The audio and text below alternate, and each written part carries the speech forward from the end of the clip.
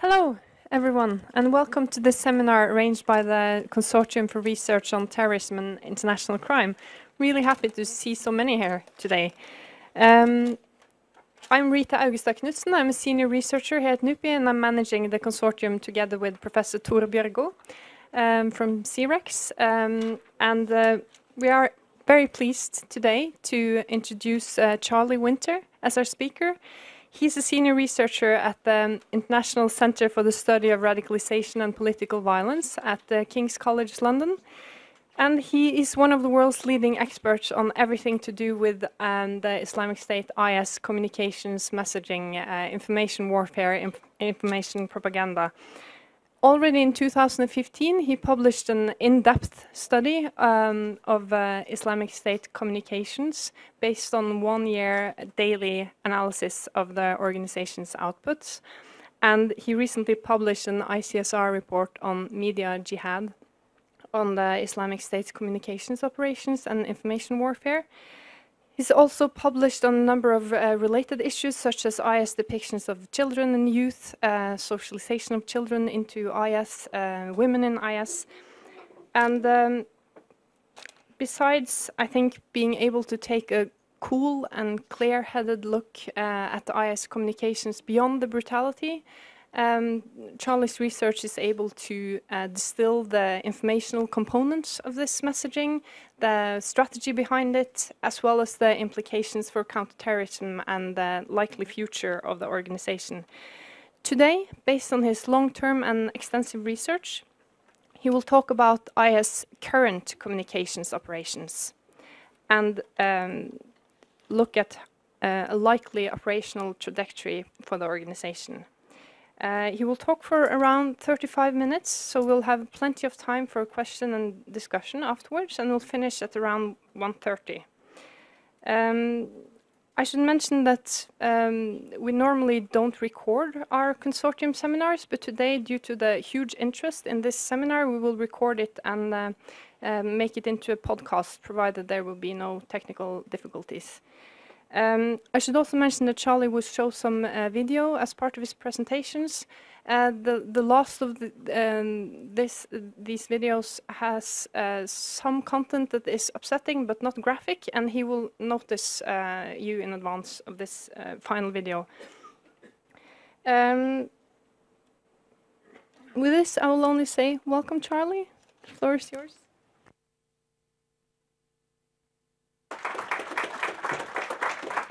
Thank you very much. Is this is it on? Can everyone? Okay. Uh, thank you very much uh, for that very generous introduction, and uh, thanks for hosting me here. It's great to be in Oslo. I've not been before. It looks pretty nice.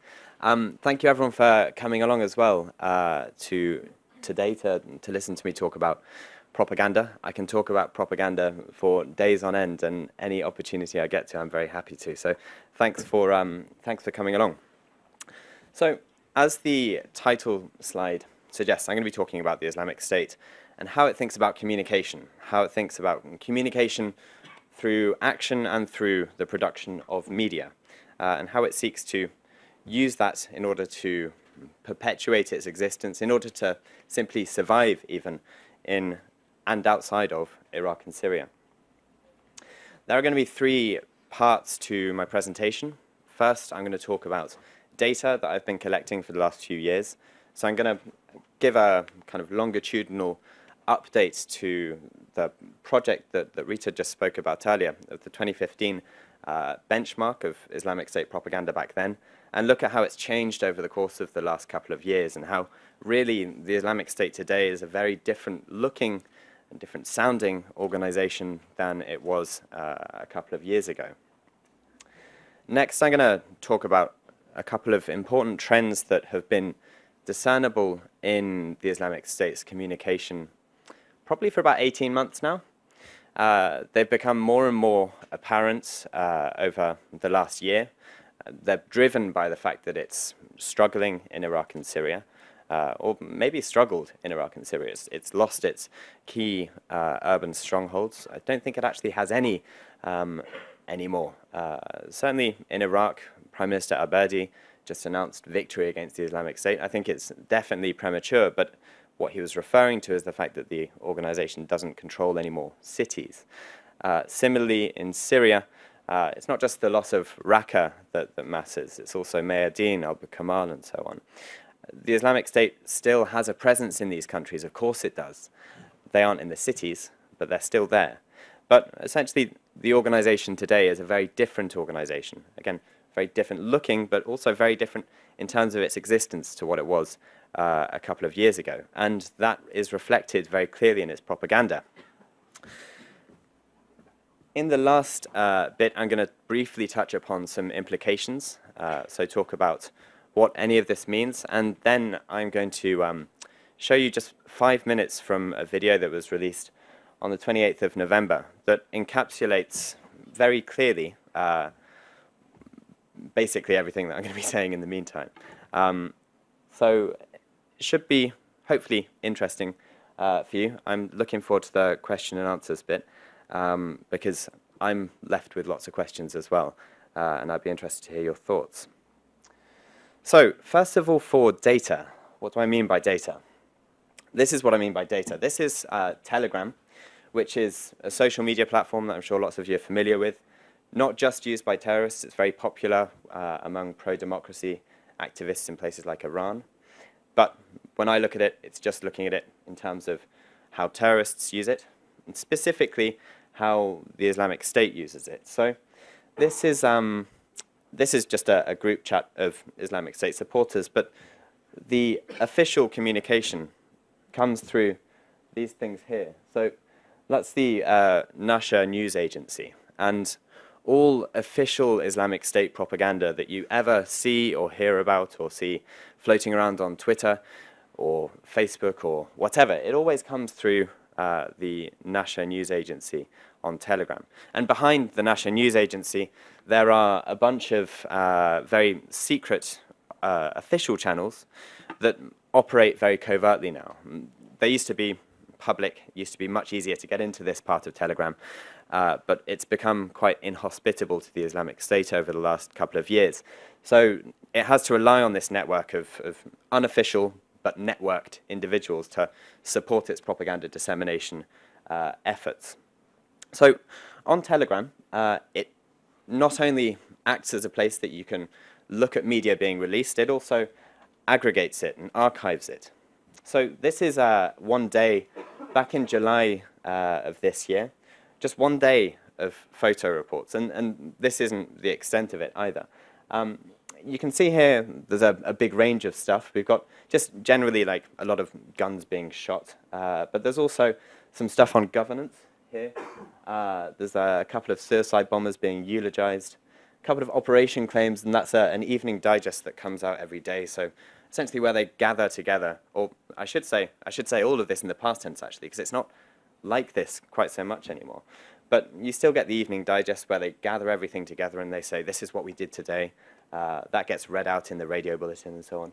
And it looks like this is a poster for a video as well. But essentially, this is a snapshot of, of the kind of archival side of Telegram. I spend most of my days on Excel. I probably should use something more high-tech, but Excel simple. Uh, essentially, I take everything from Telegram uh, and code it in Excel, make it workable, uh, put it into numbers, essentially. So then I can make uh, tables and charts and all that stuff that tells the story a little bit better than these rambling tables. But yeah, just I always like to show Excel because I spend so much time there. Now, I'm going to talk to you about the output, first of all. I'm going to look at this from three different perspectives. First of all, output, then brand, and then the kind of geographic spread of its media. But first of all, I'm going to look at the output. So this number here, 892 units of propaganda, what does that mean? So uh, what I class as a unit of propaganda is a video, a collection of photographs, so a photograph report rather than an individual photograph, uh, newspapers, magazines, radio bulletins, uh, written bulletins, uh, Dawah materials, so stuff that focuses on theology. I don't include, and I'm being quite uh, clear about this because there's a, a lot of different Islamic State media out there, and there's an aspect of it that repeats And if you count all of that stuff, then it really inflates the numbers. But if you remove the stuff that repeats, and the stuff that repeats is essentially the Amaq News Agency claims, so operation claims, and the provincial operation claims as well. If you remove that, then you can get a better indication of the editorial capacity of the Islamic State, not just how much they're making, but how much they're able to make.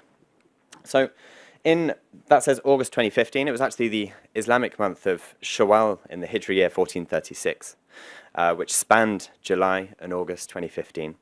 Uh, 30 days, there were 892 unique propaganda events. So it's about, if I remember correctly, it was about 28, an average of 28 uh, bits of propaganda every single day. Uh, three or four videos every single day, uh, about 20 photo reports, a lot of stuff, basically, and also multilingual. The radio bulletins back then were being released in German, Arabic, Turkish, French, and English. Um, not anymore. If we fast forward about 18 months to February 2017, so that's the uh, Islamic month of Rabi' Athani in the year 1438. Uh, it looks quite different rather than 892, about a third of its productivity was knocked off. Produced 570 units of propaganda, which is still, I mean, still tons, right?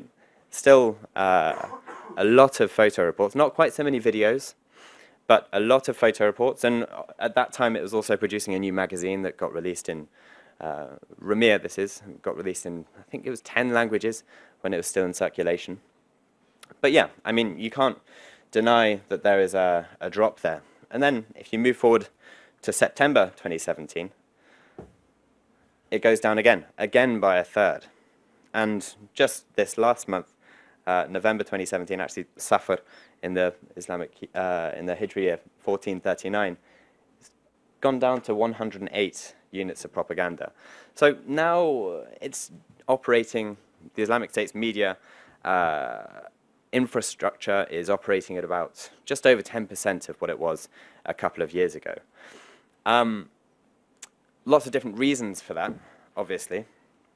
I think probably the most important, uh, or the, the most important three, are territorial loss. You don't just need places, offices within which to make propaganda. You need places about which to make mm. propaganda. Back in 2015, when it used to like taking photographs of schools or hospitals, for example. That was possible because it had schools and hospitals in its territories. Now it doesn't, so it can't. So there's less stuff about which to make propaganda. Also, a lot of media operatives have been killed, coalition airstrikes and just general uh, offensives on all sides, um, which overall has diminished, again, diminished the editorial capacity of the Islamic State. And I'm not just talking about people like Abu Muhammad al-Furqan, the guy who was the uh, information minister of the Islamic State, killed in a drone strike in September 2016. I'm talking about all of the camera men, uh, well, the camera boys, uh, often it's children that are taking these photographs, uh, but also the people writing this material, they're targeted. Uh, the editors of magazines like Rumiyah and Dabiq, uh, they're targeted narrators of videos, singers, they've been targeted by the coalition as well, all in an attempt to compress the Islamic State's ability to make propaganda. So aside from territorial loss and aside from airstrikes, there's obviously one third very important factor, which is uh, cyber offensives. I mean, I assume it's very important. No one says anything about it. The Pentagon has this uh, task force called Task Force Ares, which is controlled by Cyber Command, um, which is said to be doing lots of stuff against the Islamic State. It's very, very quiet about whatever it does, but I presume that they're behind some of the uh, logistical difficulties that the Islamic State has faced over the last couple of years as well. But essentially, I just want to get across to you that it's not what it once was. It's producing a lot less than it once was. As for the brand, this is another really interesting story uh, that you can tell through Excel. Um, this is uh, Shawwal 1436 again. You can see here, uh, if you can't read that, the blue is war-themed propaganda. Uh, so there's a lot of different stuff in war-themed propaganda: offensive operations, defensive operations, training, uh, aftermath stuff. So pictures of dead bodies and pictures of looted weaponry, uh, deterrence. So all of the videos where you'd see spies uh, having their heads cut off or uh, enemy soldiers having their heads cut off. Deterrence, that, that's all the, the war propaganda that I'm talking about there. In the orange is uh, utopia propaganda. Utopia propaganda. What I mean by that is propaganda that the Islamic State produces in order to brand its governance abilities in Iraq and Syria, in order to frame itself, provide evidence for its proto-state project in Iraq and Syria. And back in 2015, it was Libya and Afghanistan and Egypt as well, and West Africa.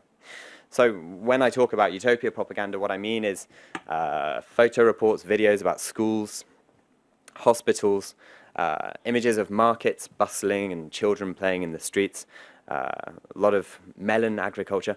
Back in, in that month, actually, uh, there was also a photo report about um, bird conservation in, uh, in Palmyra. So I, I, didn't know it until, I only realized this recently because someone asked me about it, and I uh, remember, I was telling exactly this story. I was like, there was even a thing about bird con uh, conservation. And someone asked me what kind of bird was it. So I went back to the, the photo report, and it was this thing called an Abu Manjal bird. And meant absolutely nothing to me.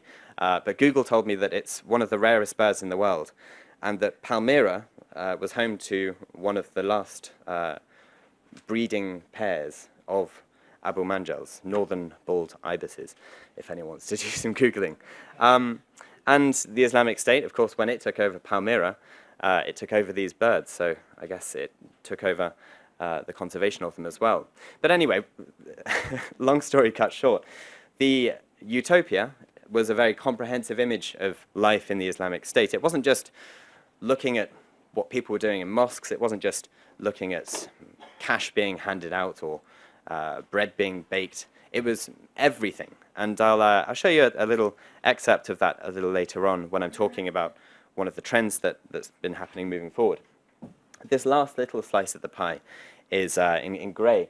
Uh, at about 7% of all of the media in that month uh, looks at victimization. So very upsetting scenes. And again, there's some of these upsetting scenes in this final video that I'm going to show you that I've, I've blocked out so you can't actually see any of the, uh, the, the, the, content. Um, but essentially, it's a very, very important foundation to the Islamic State's strategic narrative. The idea that Sunni Muslims in Iraq and Syria, and, well, Sunni Muslims everywhere, are being victimized by the enemies of Islam. The way they like to show that is by showing dead children or dying children or dead old people. Um, never dead men of military age. It's always children or old people. Showing them in the aftermath of airstrikes to show just how evil, just how criminal the international coalition is. And that's the point where they, they bundle together the Americans, the Russians, the Israelis, the Saudis, the Syrians, the Iraqis, the Iranians, they bundle them all together into this, this one big conspiracy against Islam. And the Islamic State does it all jihadist groups do it, but the Islamic State does it in a very, very uh, effective manner. It's very good at argumentation through, through videos. But anyway, that was the picture back in August 2015. If we move forward again to uh, earlier this year, February 2017, you can see that there's been a very big shift in terms of what kind of media is being privileged, what parts of the Islamic State brand are being prioritized. So to remind you, blue is war-themed propaganda, orange is uh, utopia-themed, and grey is victimhood. Interestingly, the, the, the, victimhood stuff stayed at about 6 or 7% of the, uh, the, the overall output for that month. Um, the big shift, obviously, was a lot less stuff about the civilian governance in Iraq and Syria, and a lot more stuff about, uh, about the military side of things we have to also remember that less propaganda on the whole was produced during this, this, uh, this month. But still, proportionally, the proportions were very different. Now, if we think back to earlier this year, February 2017, uh, that was right in the smack in the middle of the battle to recapture Mosul. And the Islamic State communicated very, very proactively about the battle for Mosul. It communicated about it in a way that no other city or battle had been communicated about before, and, and none since. I mean, even Raqqa, which is a similarly important city to, to Mosul, it didn't get the same kind of treatment from the propagandists.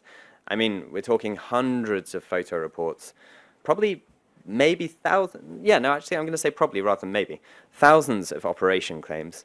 And there were, I think, 12 or 13 feature length videos that were very carefully, meticulously produced. Uh, often the focus was on suicide bombers, uh, a lot of drone footage, that kind of thing.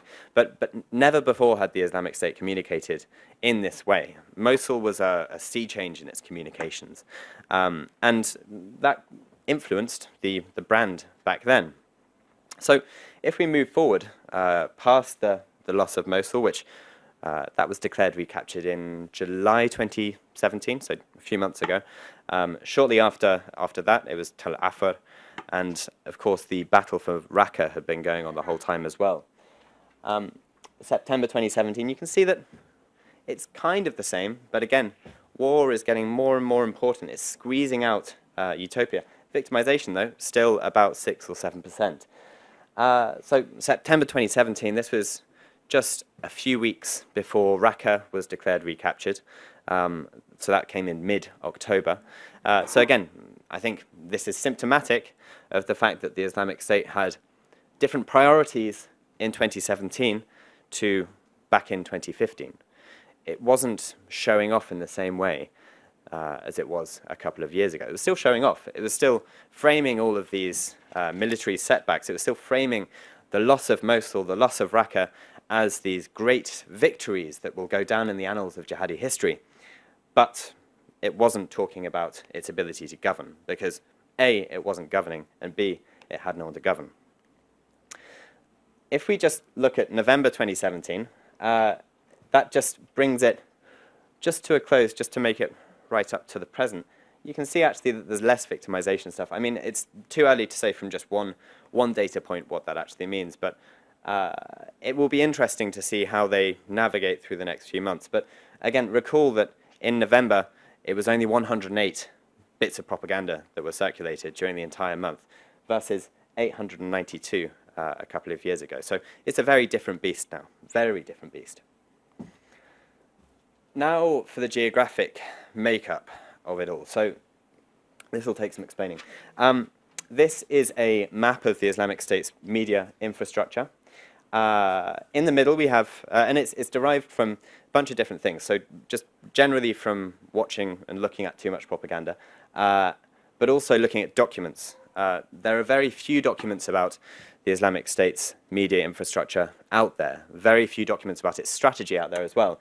But there's one uh, which was picked up and translated by Aymenn Jawad al-Tamimi, great analyst uh, who has a, a, wonderful archive, if you're into that kind of thing, of Islamic State documents. Um, and this one in particular uh, that, that gave me this structure here is called Principles in the Administration of the Islamic State. And it breaks down the Islamic State's media operations into three levels. So at the top, we have the Central Media Office uh, Al-Mu'assasa Al-Umm. So this has a direct line to the office of the Caliph. Uh, it is essentially in charge of setting the media priorities at any one point in time for the Islamic State as a whole. So it issues a directive and everyone follows suit. It can say we need that, that, or that, and then people, whether they're in uh, Raqqa province or Nineveh province, or in one of these other ones here, they have to follow suit. They have to respond to it. Next, you have the uh, agencies all around here. So if you ignore these three for now, uh, if you, and just focus on the Al Hayat Media Center, so that makes uh, Dabiq and uh, Rumiyah. Uh, I'tisam Foundation, which has been dormant for a few years. Uh, Foundation, which does all of the statements from Baghdadi or Muhajir or Adnani. Uh, Ajnad Foundation, it does all of the songs, uh, Anashid. Bayan Radio does the radio bulletins, uh, and I mean, it, it, does more than radio bulletins, but radio bulletins were what was being circulated online until recently. Uh, Naba is its newspaper, has been, I mean, Naba's really impressive, actually. It's been circulated since the summer of 2015 on a weekly basis, apart from three, it's missed three or four issues, um, on a weekly basis, and it's uh, 16 pages every single time with infographics and images and exclusive interviews. It's pretty impressive that an organization which is being attacked on all sides can still manage to produce something like Naba. Anyway, I digress. Then there's the Himmah Library, which does all the theological materials and the billboards and that. Um, so that's the, the, kind of second rung, which is very much connected to the central media office. And then all of these colorful ones here are regional or provincial media offices. So uh, I'll just go round by, uh, by country. So we have West Africa province, which is Nigeria, Cameroon, Chad. Uh, Algeria province, Tunisia, which isn't a province, but it has a media office. Uh, Libya, so there are three provinces there. Egypt, Somalia, these are all Syrian ones. Uh, Euphrates province spans the border between Syria and Iraq. Then we have the Iraqi provinces, the Yemeni provinces, Bahrain province, which never actually produced anything beyond uh, one photo report and uh, one operation claim after a suicide bombing there. Saudi Arabia, uh, Caucasus, uh, Afghanistan, and then we've got Bangladesh, and then Southeast Asia over here. There's a pretty impressive spread, um, and obviously the Islamic State likes to focus on that spread. It, it likes to frame itself as a transnational insurgency that has, well, that is ubiquitous all over the world, that has media operatives working everywhere, that has terrorist cells working everywhere, that is capable of uh, reaching wherever it wants to reach. What's interesting is that while the majority of these were very active back in 2015, it's not the case now. So what I thought would be an interesting thing to do uh, a little while ago was to essentially get rid of all the ones that are essentially dormant. So what do I mean by essentially dormant?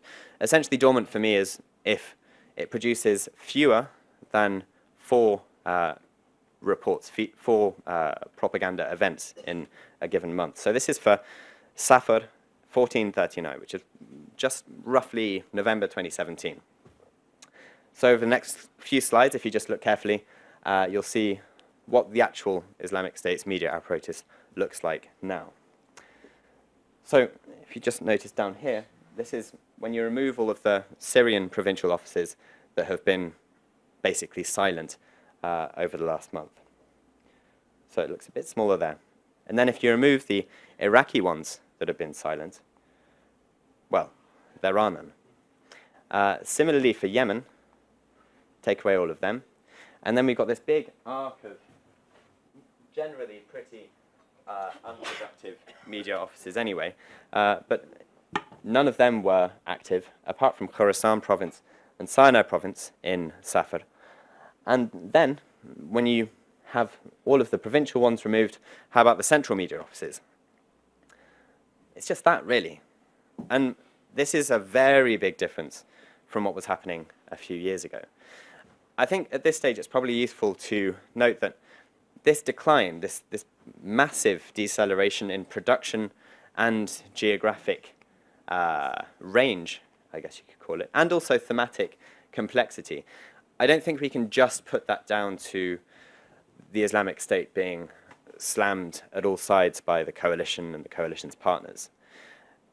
The organization itself will have had to decide at some point that it was going to change that it was going to recalibrate, that it was going to have to respond in some way other than just pretending that this wasn't happening. It just isn't feasible for it to produce hundreds and hundreds of propaganda units or events every single week. So in order to respond to that, I think clearly people in its central media office, the Mu'assasa al-Umm, whoever they are, no one knows who they are, uh, decided that maybe now is the time to kind of wind down a bit. What's been interesting is uh, on places like Telegram, as the official media has kind of quietened down, the supporters, the kind of volunteer diplomats of the Islamic State, they've come into their own as not only content disseminators, but content producers. So they're producing their own posters, often really badly worded, uh, very bad translations, uh, but, but still, they're still producing content or poetry or uh, again, songs. They, they've been, been producing new uh, as well. Uh, and also just reposting old videos. But essentially, the Islamic State supporter community, the um, Munasirin, they are officially referred to uh, in its propaganda, they have come into their own. Uh, they're essentially there to try and buoy up the silence, to try and fill the gap that's been left by the official media decline. So, as for trends, I spoke about these a little bit earlier, um, but I'll go into a bit more detail now. So, these aren't thematic things, uh, though they, they both have uh, focuses on specific kinds of event. Uh, they're more like a structural, uh, a structural novelty or innovation in Islamic State propaganda. The first and most important, uh, probably in the long term, is a sense of nostalgia. Now, this is something which has been present in the Islamic State, in any jihadi group's propaganda for, well, forever, really. I mean, they're always harking back to the golden age of Islam some 1400 years ago. When I talk about nostalgia here, I'm talking about it in terms of the Islamic State harking back to its own golden age of a few years ago. And what I mean by that is propaganda where it looks at the pristine uh, utopia of the Islamic State back in uh, Iraq and Syria and Libya and so on, back in 2014, 2015, when it was really at its height. And also, as it's happening now, so in a little pocket of territory that's still controlled by the group, it will uh, literally sometimes even put a um, rose-tinted filter onto images of civilian life or uh, fighters just having a nice time together. It will literally do that. I think it's kind of trying. Uh, I'm pretty sure it's trying because it's consistent uh, across the board to generate this idea of nostalgia, to essentially talk about the utopia that once was, but also it enables the Islamic State to position itself. Sorry if you, you can't see it over here. Essentially, to position itself to say, we had this great, wonderful caliphate back in 2014, 2015. I say that, the caliphate's not going anywhere and it's not just a territorial thing. Uh, but, but here, what I mean is the organization positions itself to say, we had this territorial caliphate, this utopia back in 2014, 2015, 2016. Look at what Mosul was like, look at the stability and the security and the abundance in Mosul. Look at Raqqa, look at how well it was run, look at how uh, nice it was to live there. And then the Crusader coalition or the uh, Nusayriya or the uh, Rafidi or the Iranians or whatever, whoever you want, they came along and they took it away from us. And for that reason, Islamic State fighter who's watching this video or these videos, you need to go out and engage in retributive acts of violence on our behalf because we can't do it, but you in your home countries, wherever you are, that's your role now. That's why you're important. So in this next video, uh, it was released earlier this year from Raqqa Province Media Office, uh, so obviously in Raqqa, in Syria. Uh, the video itself was called Building Blocks. This is just a short clip of it. And essentially it goes through the different building blocks of the Islamic State's administration of the city. And there's nothing about military stuff. Uh, it features a lot of interviews with people, on, men on the street, just randomly interviewed, uh, or workers that were just randomly interviewed, talking about how wonderful a time they're having. Uh, and it shows, well, you'll see, it shows what looks to be uh, quite an efficient uh, running of a city, quite an efficient municipal governance.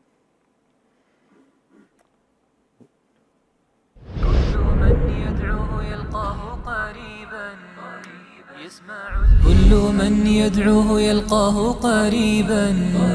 يسمع الهمس بذرات الرمال. يا إله الكون جئناك حفاة. وعراة فاكسنا ثوب المعالي. كل من يدعو يلقاه قريبا.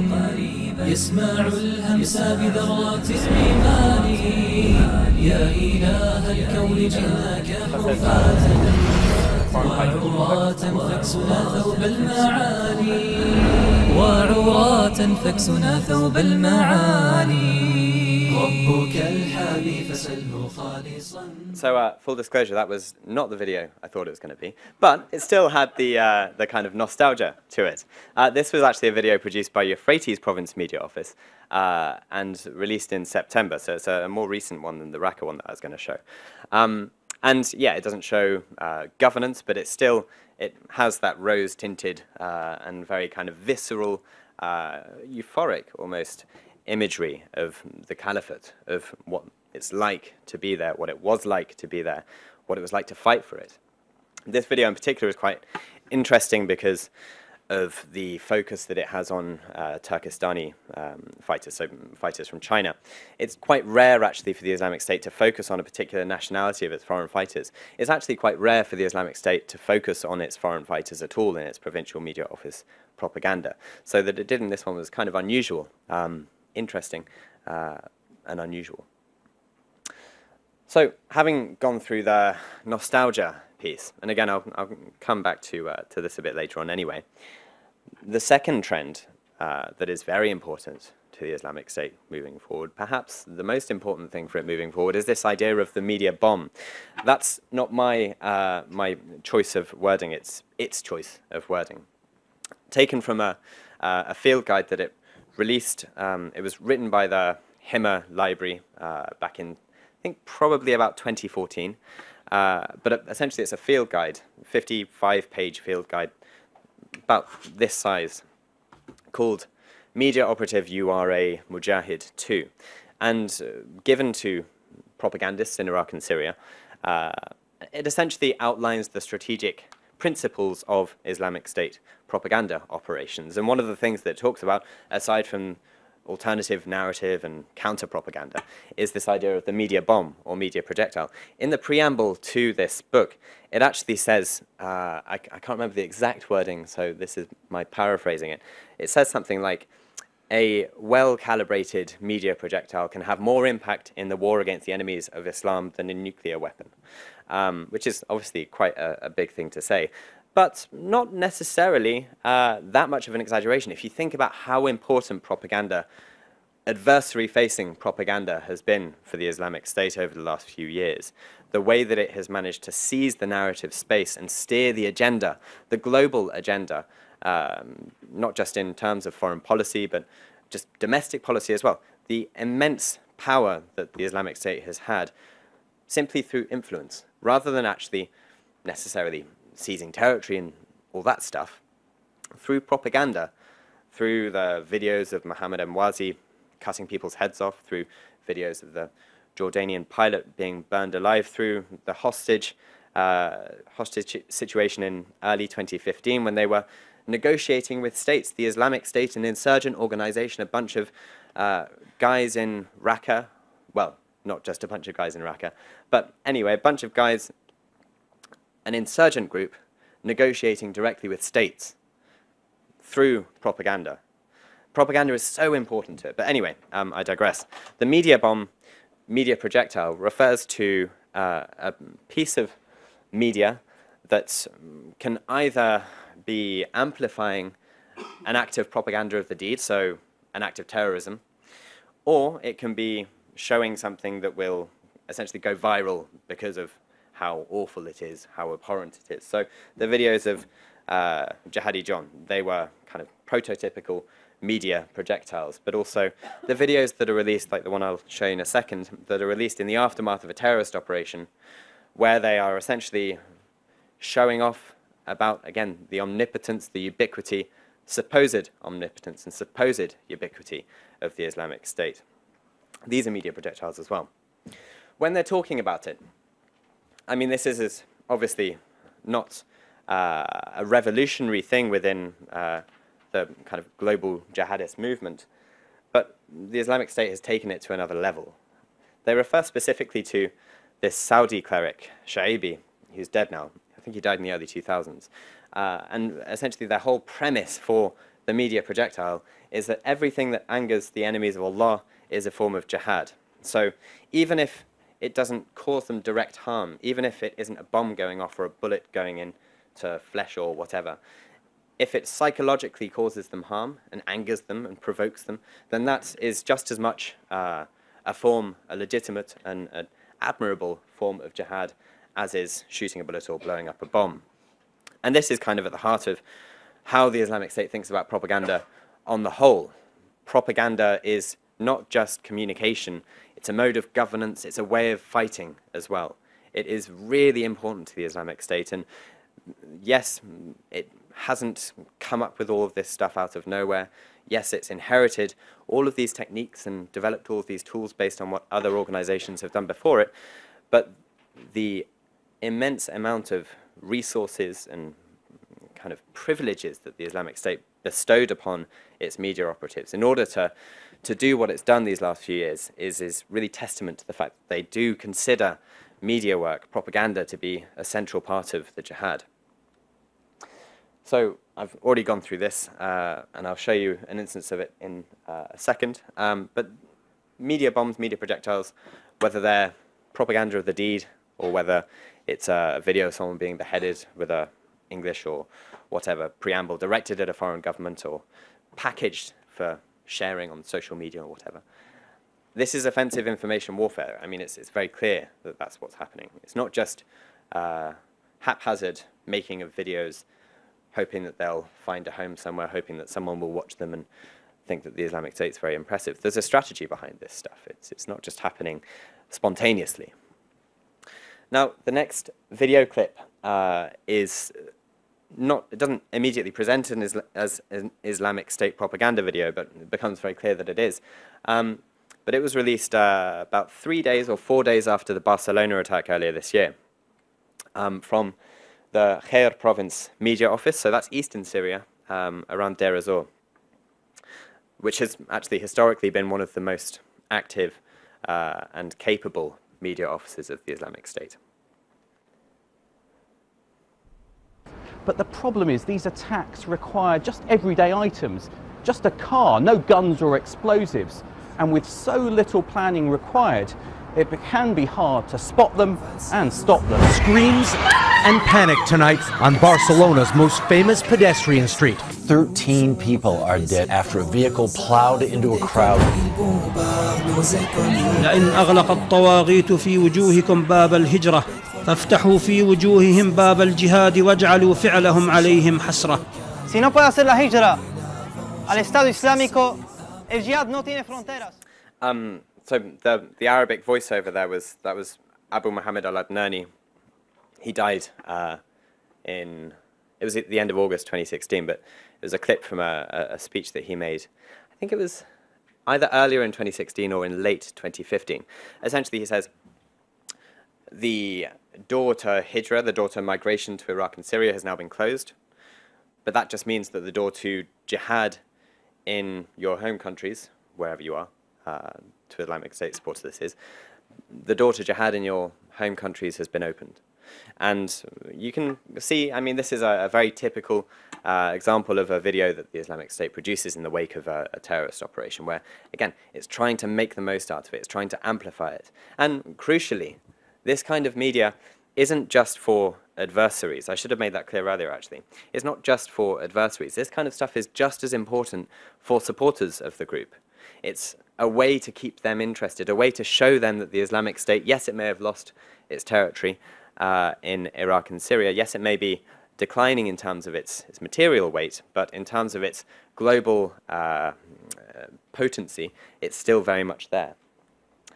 Uh, so just very quickly to go through the implications so I can get to this last uh, video clip that kind of brings everything together. Um, this is Raqqa, no longer controlled by the Islamic State. That's the SDF moving, moving through. I think there's no two ways about it. The Islamic State's proto-state is no more. At the moment, it is no more. There'll be, of course, pockets of territory in Iraq and Syria where it continues to engage in governance and education and ideological incubation, all that stuff. But in terms of what we've seen the last couple of years, it's, it's not capable uh, of, of doing uh, what it has been um, anymore. I think that in light of that, its ability to incite, inspire, and direct acts of terrorism outside of Iraq and Syria, and actually inside of Iraq and Syria, will be its new unique selling point, the thing that it focuses on above all to show that, yes, it may have lost this territory, but actually still it is the best jihadist group out there and you should definitely join it rather than Al Qaeda. We could be moving into, and this is very much a, it's a big statement, uh, we could be moving into a new phase of the global jihad, potentially. I don't know. I'd love to hear what you guys think. Um, the next slide, it's a five minute, it's a five minute clip. Okay, so it's, it's a five minute video clip from a video that was released on the 28th of November uh, by the Al Hayat Media Center. It's just the first five minutes of it. Um, and, well, I'll, I'll let you make up your minds about it. Uh, but I think it basically encapsulates everything that I've just said, uh, obviously in Islamic State terms, um, and demonstrates that, yes, the group could well be on a new strategic trajectory, that this new phase of the global jihad could well actually be happening. Whether rhetoric matches up with reality is another question, but certainly in terms of its official strategic communication, the Islamic State does seem to have taken this new tack. Um, just again, to, to go back to what Reed said at the beginning, there is some upsetting imagery uh, in this. I spent uh, much of last night and much of this morning um, trying to put black boxes over the, the upsetting imagery. And I think I did a, a good job of it. Um, but just to warn you anyway, uh, it's, yeah, I mean, it's Islamic State propaganda, so it's pretty brutal. But, but hopefully it's sanitized enough that you can get the meaning of it without actually having to see the, the bad bits of it.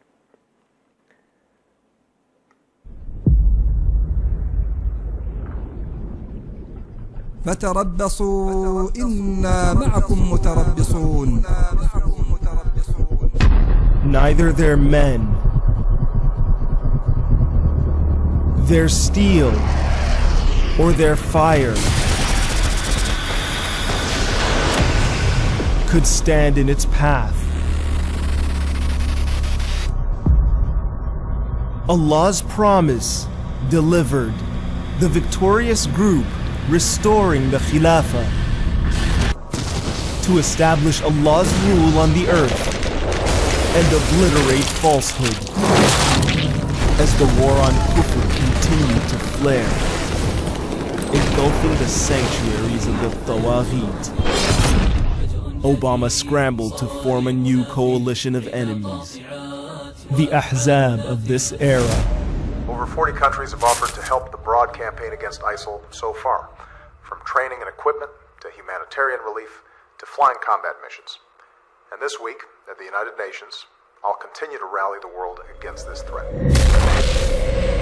With imperialist Russia vying to return to the world stage, their hatred of the truth driving them to pour molten lava over its followers in an unprecedented campaign of aggression and lies.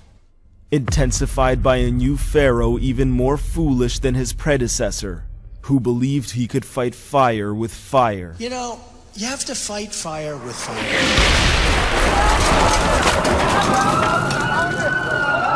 This is an evil, sadistic, monstrous enemy, absolute butchers.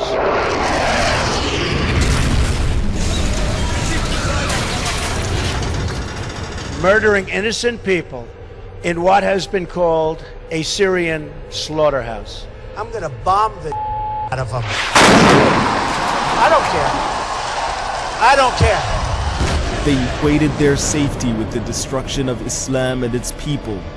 A war on terror. We are also taking strong measures to protect our nation from radical Islamic terrorism. They fail. Terror, its fuel is war.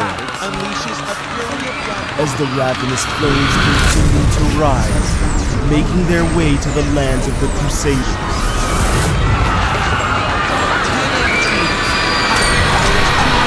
at a security guard who approaches his room. Shot in the leg, the guard still has to the scene. At 11:20.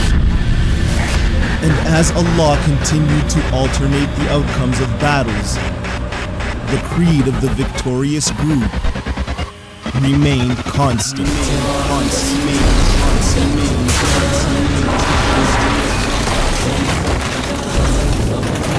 They did not seek to live to fight another day.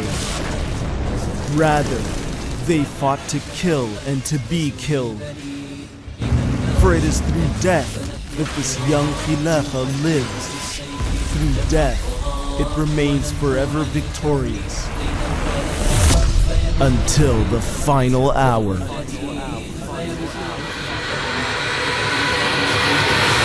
فموتي بغيظك أمريكا موتي بغيظك فلن تهزم أمة يتسابق أبناؤها شيبا وشبانا على الموت وإزهاق النفس رخيصة في سبيل الله ولن يغلب جيل همه الآخرة وحسن العاقبة فالحرب سجال والأيام دول.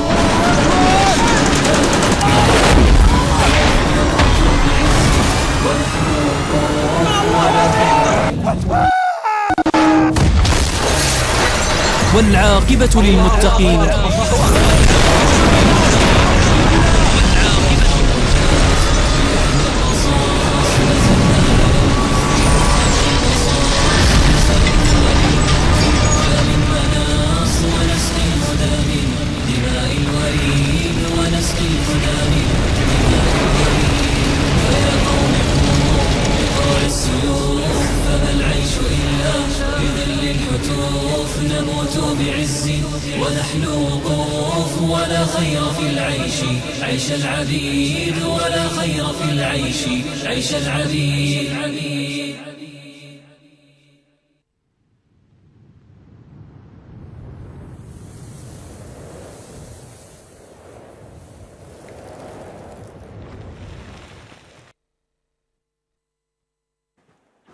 I mean, it's uh, the, the- kind of nuts. Well, it's very nuts that video. Um, it's not character like we all know the Islamic State is good at making propaganda, but that that's a they've put a lot of effort into that video in particular, because essentially it's identifying the fact that the Islamic State is on a new strategic trajectory. It says it. The jihad has entered a new phase. Um, I'll leave it there. Uh, thank you very much for listening to me. I don't know how long I've gone on for, but thanks.